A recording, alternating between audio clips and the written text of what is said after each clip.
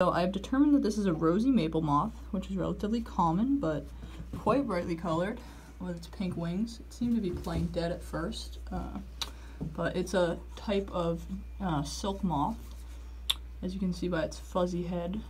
Um, and it's got those Come little I'm gonna kill it right in front of you. antenna right there. It's got some Ready? nicely dark eyes.